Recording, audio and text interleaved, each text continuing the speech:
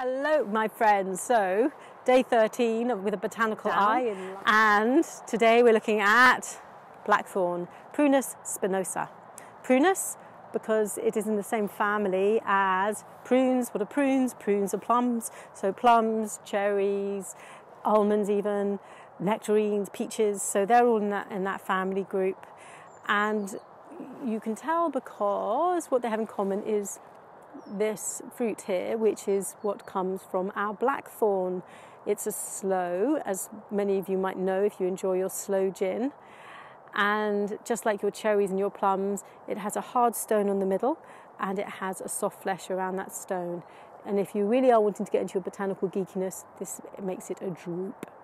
So botanists call it a drupe. So blackthorn, as you can guess from the name thorn, has thorns go away, really. So the thorns, um, sometimes you can see them and really are typical thorns. So spiky and small. Other times you can't really tell that they're thorns because they've grown into what looks like branches. And that isn't indeed what a thorn is, it's a modified branch. So it has what botanists would call the vascular bundle going up and down it. And the vascular bundle is the water conducting vessels or the food conducting vessels.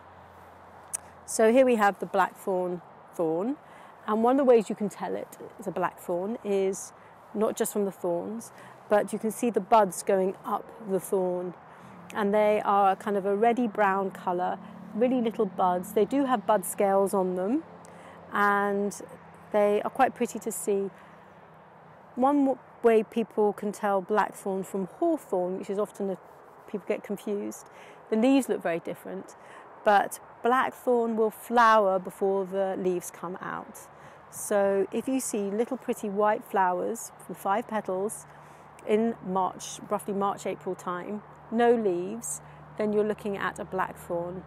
If you're seeing pretty white flowers with five petals and leaves, you've got your hawthorn. Another thing to look out for with the hawthorn is the bark. So the bark uh, allegedly from the name blackthorn is because the bark is black. Now, I don't see a black bark, but the more you spend time outside in the woods, you find, start seeing to see that you get a brown that's a bit of a pinky brown, or you get a greeny brown, a grey brown. And what I find in blackthorn, indeed, it is more on a blacky side of brown tree. Some say it's a bush, a tree, because it grows very small, doesn't really grow beyond usually six, maximum 10 metres. It's used a lot as hedging, so you'll see it around fields to stop cattle moving around. And there you have it, blackthorns, Prunus spinosa, uh, with our sloe berries. So see if you can see the thorns, see if you can see the flowers, and check out the um, bark.